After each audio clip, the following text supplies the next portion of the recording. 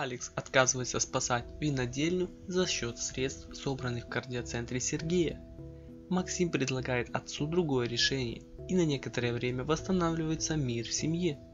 Чтобы подружиться с Аней, Кристина отдает ей браслет.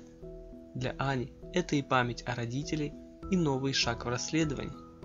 Она едет на ювелирный завод, где работает ее отец.